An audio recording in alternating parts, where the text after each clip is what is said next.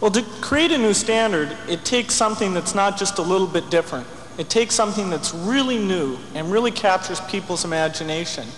And the Macintosh, of all the machines I've ever seen, is the only one that meets that standard.